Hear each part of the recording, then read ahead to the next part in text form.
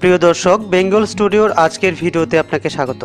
পারস্য উপসাগরের এক কোনায় চোখে পড়বে ছোট্ট একটা দেশ। আয়তন মাত্র দশ হাজার বর্গ কিলোমিটারের তুলনায় সামান্য বেশি। আয়তনের দিক থেকে বিশ্বের নব্বইতম। বাংলাদেশের তুলনায়ও প্রায় তেরো গুণ ছোট এই কাতার। বাংলাদেশের মতো কাতারও স্বাধীনতা লাভ করেছিল উনিশশো একাত্তর সালে গ্রেট ব্রিটেনের কাছ থেকে।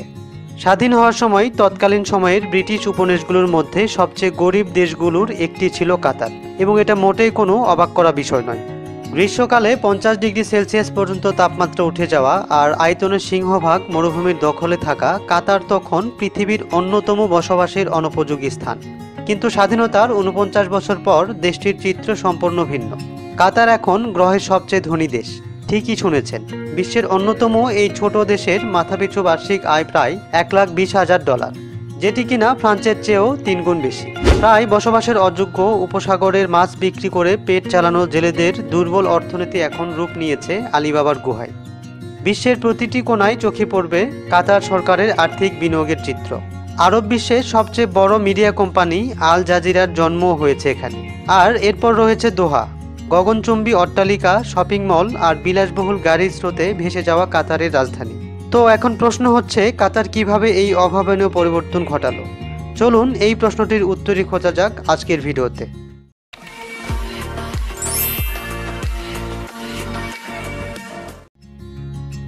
প্রাকৃতিক সম্পদ। মধ্যপ্রাচ্যের দেশগুলোর ধনী হওয়ার অন্যতম প্রধান কারণ হচ্ছে এর সমৃদ্ধ প্রাকৃতিক সম্পদ। কাতারও এর ব্যতিক্রম নয়। মরুভূমির বালির নিচে লুকিয়ে থাকা বিশাল জ্বালানি ভাণ্ডারই কাতারের অর্থের যোগানদাতা। তবে কাতারে শুধু তেলই নয়, আরও একটি সম্পদ প্রচুর পরিমাণে রয়েছে, আর তা হলো প্রাকৃতিক গ্যাস।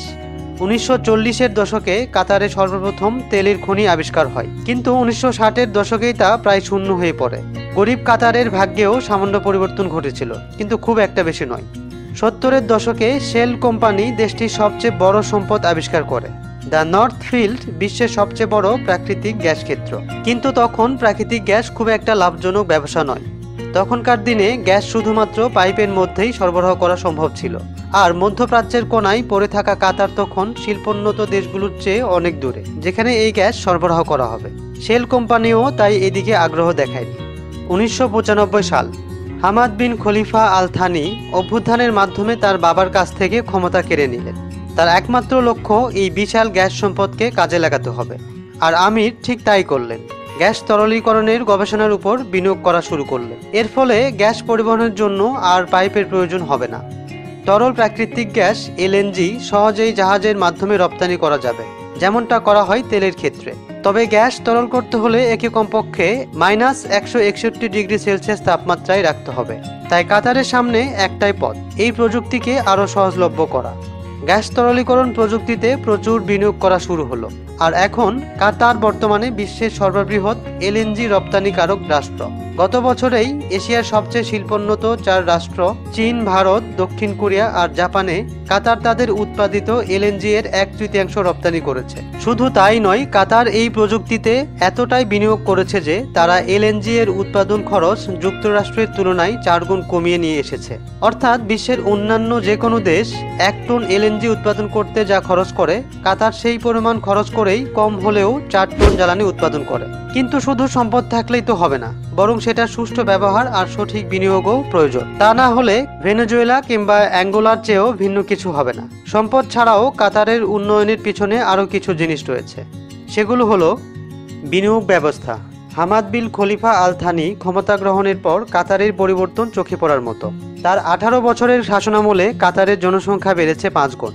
একই সাথে পরিণত হয়েছে গ্রহের সবচেয়ে ধনী রাষ্ট্রে। তাই সাবেক আমির নিজের কাজের জন্য গর্ব করতেই পারেন। জ্বালানি সম্পদ কাজে লাগিয়ে প্রচুর আয় করেছে কাতার। এই অর্থ ব্যয় হচ্ছে কোথায়? কাতার এই বিশাল অর্থ কাজে লাগানোর জন্য গঠন করেছে কাতার ইনভেস্টমেন্ট অথরিটি। কাতারের ক্ষমতা হিসেবে পরিচিত এই ফান্ডের হাতে রয়েছে তিনশো ত্রিশ বিলিয়ন ডলারের চেয়েও বেশি পরিমাণ অর্থ, যাদের কাজ হচ্ছে দেশ বিদেশের লাভজনক ব্যবসায় বিনিয়োগ করা। আরেকটি ব্যাপার, কাতারের জনসংখ্যা মাত্র ত্রিশ লক্ষ। তাদের মধ্যে মাত্র তিন লক্ষ লোক কাতারের নাগরিক। সুতরাং কিছু অঙ্ক কষলেই তাদের এই বিশাল মাথাপিছু আয়ের কারণ বের করে ফেলতে পারবে। কাতারের এই ফান্ড বিশ্বের প্রতিটি কোনায় রিয়েল এস্টেট কোম্পানিতে বিনিয়োগ করেছে। হোটেল, অফিস, অ্যাপার্টমেন্ট কেনার মাধ্যমে লন্ডনের বেশ বড় একটা অংশ কাতারের দখলে রয়েছে। যুক্তরাষ্ট্রেও বিদেশি বিনিয়োগকারী রাষ্ট্রের তালিকায় কাতারের অবস্থান চার নম্বরে। আর শুধু রিয়েল এস্টেট নয় বিভিন্ন মাল্টিন্যাশনাল কোম্পানিতেও কাতারের বিনিয়োগের পরিমাণ আকাশচুম্বী। জার্মানির ফক্স ওয়াগেন বারফ্লেক্স ব্যাংক এমনকি রাশিয়া সরকারের তেল কোম্পানি রসনেফট এর বিরাট অংশ কাতারের মালিকানাধীন। বিদেশি বিনিয়োগ থেকে এবার দেশের অভ্যন্তরে কাতারের বিনিয়োগের দিকে চোখ ফেরানো যাক। ইতিমধ্যে সড়ক ব্যবস্থা, এয়ারপোর্ট, বন্দর, গবেষণা কেন্দ্র আর বাণিজ্যিক কেন্দ্র তৈরিতে কয়েক বিলিয়ন ডলার খরচ করে ফেলেছে কাতার সরকার। আর এর কারণ?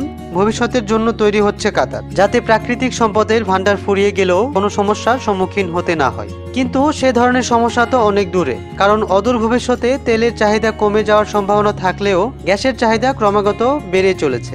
মধ্যপ্রাচ্যের অন্যান্য দেশ হয়তো দুই হাতে টাকা উড়িয়ে চলেছে, কিন্তু কাতার আগে থেকেই তৈরি হয়ে আছে ভবিষ্যতের জন্য। আর এটাই পার্থক্য গড়ে দিয়েছে অন্যান্য দেশগুলোর সাথে। দর্শক, কেমন লাগল আজকের ভিডিওটি? কমেন্ট করে অবশ্যই জানাবেন আপনার মূল্যবান মতামত সত্যিই আমাকে অনেক বেশি অনুপ্রাণিত করবে। আর ভিডিওটি ভালো লেগে থাকলে চ্যানেলটি সাবস্ক্রাইব করতে ভুলবেন না। কথা হবে পরবর্তী ভিডিওতে।